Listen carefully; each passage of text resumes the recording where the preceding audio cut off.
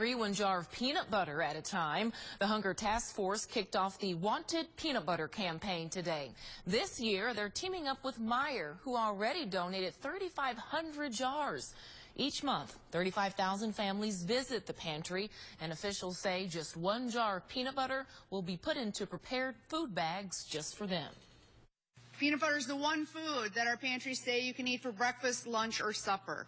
Peanut butter is healthy for people, it's high in protein, and kids love it.